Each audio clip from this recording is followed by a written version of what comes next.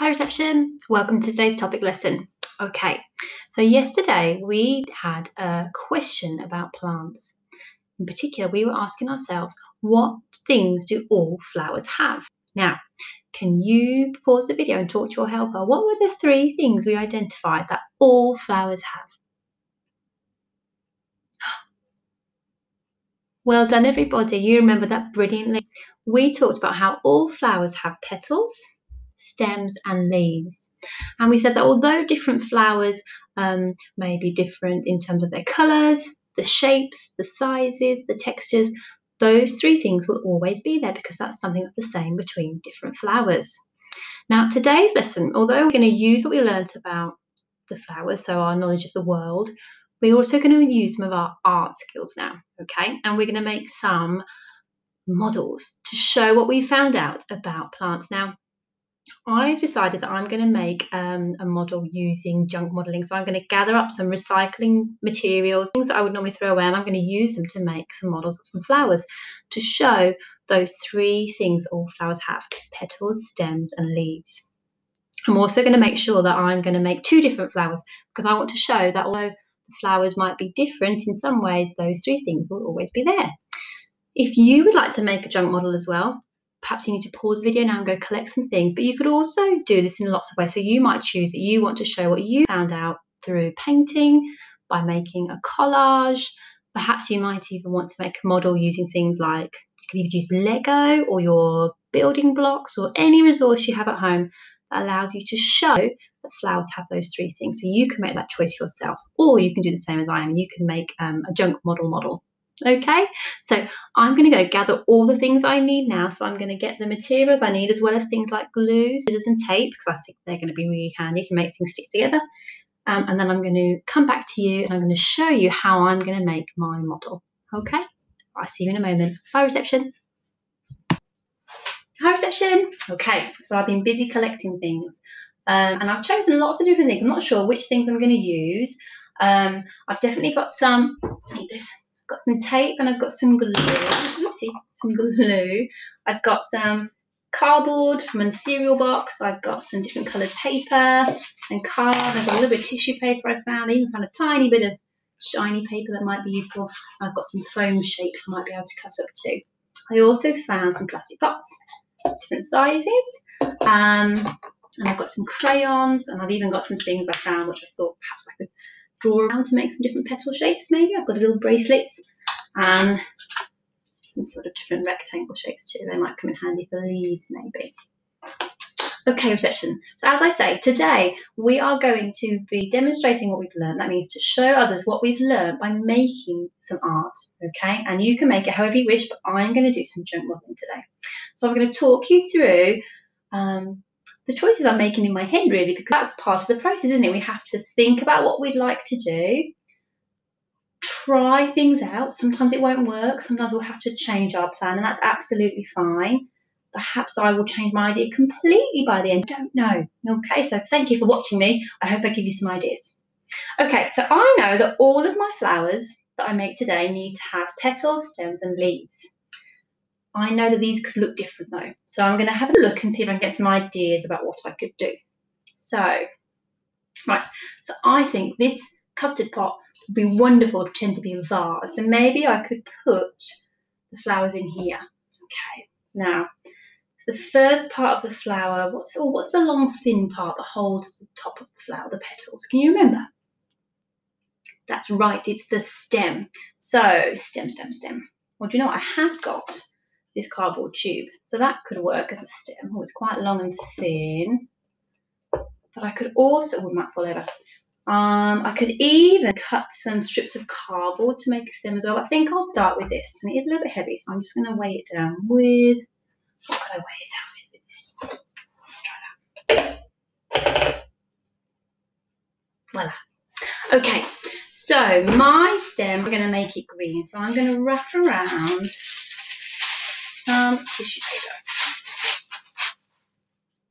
So I'm going to cut some tissue paper. You can tear it. You might want to use crayons or paint or felt tip pens. I'm going to pop some glue on.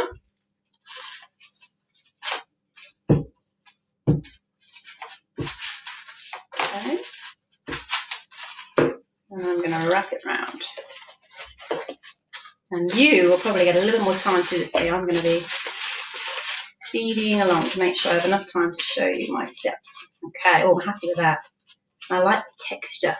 A little bit bumpy, actually. There we go. So there's my stem. Now I need to make a flower. So I wonder if this could stick on there. What do you think? It's just a empty yogurt pot. I've got an idea. I'm going to see if it will work. I'm going to use some tape, some masking tape here, and I'm going to see if I can attach it to the stem. Um, let's think. I could try wrapping it round. Let's see. Well, maybe I should have put this on first before I put the. See, should have changed my plan already. I could have put this on first and then wrap the green.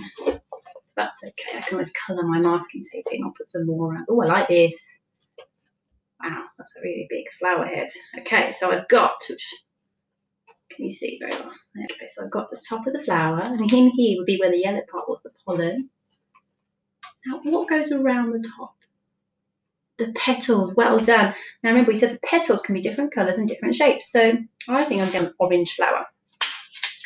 And I'm going to make my um, petals. Can you see that? A heart shape. I've just got a heart bracelet I found from Chloe.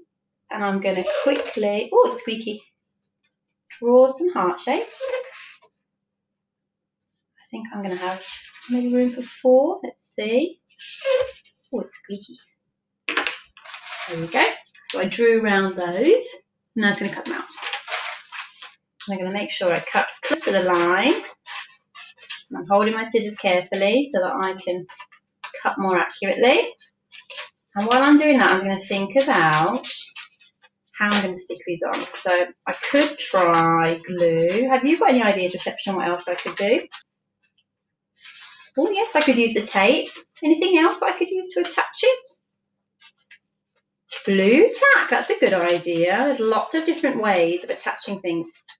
String's also really good if you need to tie something on. If you've got any string at home, you wish to use that.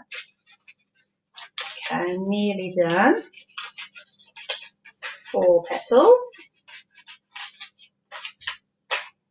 And then I need to remember the other thing. So I've got a stem. I've nearly got the petals on my model. What's the thing that's missing reception? Well done, the leaves. Now, I think I'll try with, with some tape. So the leaves now, hmm, I'm just looking at what I've got. I have got some, oh, we go, see if that looks nice. I can bend it out. Ah disaster! Let's try again. Might be, there we go. I'll stick that on in a minute. I'm just going to think about my leaves. So I think what I'll do is I will I might use a bit of this green foam. I think that would look quite nice to make some leaf shapes. And I think I'm going to draw around this rectangle shape. I'm going to have some rectangle leaves. Right position. I'm going to pause the video just a moment so I can get this ready. And then I want to show you my finished flower at the end. Okay? Be one moment. Welcome back. Okay, I finished my flower reception. So here is my first model. Now let me talk you through it. So I used um, a long thin tube for the stem. I covered it with green tissue paper. I made some rectangle foamed green leaves, but darker green, and my petals are heart shaped. Now I also used a little hair bobble I found. You see it in there? Found this as well. So I thought that could be the inside of the flower. That in there. And I'm really happy with my first model. Now, I want to make another flower now, and I'm going to make it in a different way using different materials because I want to show that I, what I've learned about flowers is that they can look different, but they will always have those same three things. What were they again? Petals, stems, and leaves. Well done. So I had a quick look, and I've got a different idea now. So I'm going to make a smaller flower. This is quite a big flower, but I'm going to make a smaller one now, and I'm going to use for the stem a similar shaped object, but look, much smaller and much thinner. So I'm going to use a straw. And I found this cardboard tube and I had an idea. If I cut some holes either side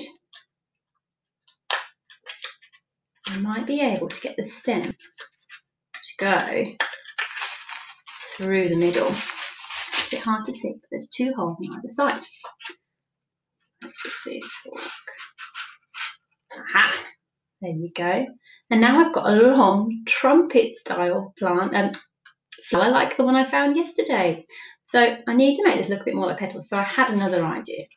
I could cut, I hope this works, some long slits. Um, I might make them a little bit thinner. About the same distance down, and then I think if I stretch them open, if I just push them down, it will make a lovely petal head. Let's see. So I'll squash them down. It might look a bit like a there. Oh, I'm pleased with that. Now, what to do next? Well, I need to perhaps add some colour. So what I might do is get some crayons and I might make the petals, which is a bit tricky to see on the screen, but I'm using pink crayons to colour the cardboard in. I'm doing it quite quickly, but you can take lots of time making yours because I want to show these petals not only are a different shape, they're a different colour and a different size. So this flower here, oh, is much smaller, but it still has petals and a stem. Oh, I've missed something. What have I missed reception? That's right, some leaves. And I think for this, I'm going to be a bit, oh, I know what I'm going to do. On this cardboard, there are some leaf um, pictures. I'm going to just borrow those. So I'm just going to cut out the leaves from the cereal box. Have two. One. On this side, I'll borrow two because sometimes we can use pictures that are already there, can't we, to add to our own design. And these leaves are different in shape as well. These are a bit more oval. Oh, I like that. And I'm going to attach this on now. I might use my tape again. I do like making things for you. And I found the tape has worked really well because the tape can be, you don't need scissors to tear it. It's quite sticky. If you make a mistake, you can also pull it off and readjust. There we go. Oh, and I might, I wonder if this will fit in there. I've got a, a milk bottle lid. Going to be too big. Oh, I don't know. Let's push it right down. Oh, that's actually helping to stop it falling down a bit. there we go. And here's my next flower. So I'm going to put my model together. Let's have a look. What have I got? I'll bring it a bit closer to show you. There we go. Oh gosh, a bit floppy. Let's stand you up and turn you around. There we go. Okay, so here's Mrs. Hutt's oops, model of some flowers and I've created this using lots and lots of different materials. I've got cardboard, I've got tissue paper, I've got paper, I've got tape, I've got plastic, all things that would normally be recycled or thrown away and I've made two different flowers. And although my flowers look very different, they're showing what I've learned about flowers that although they may be different in their appearances, there are certain things they will always have. This one's ginormous, isn't it? Let's hold it down a bit lower. There we go. So flowers will always have petals. They will have leaves. Can you see the leaves on that one? There's the leaf on that one. My flowers turn around. There we go. Um, and they will have stems as well to hold up the leaves and the flowers. Okay. And although they may look different in terms of their colours, their shapes, they might feel different in terms of their textures. They're still all flowers, and that's something that they um, are the way. Sorry, that's how they are similar to each other. Okay, reception. Well, I hope you have fun making your models. Remember, you can do it any way you wish. You can do it like I have, or you could do it some paintings, some uh, buildings with your blocks, with your toys, collage, whatever you like to do to show what you found out. Okay, I hope you have fun making your models and make sure you use them afterwards to talk to your helpers about what you've learned about flowers. Okay, take care now, reception. I'll see you soon. Bye.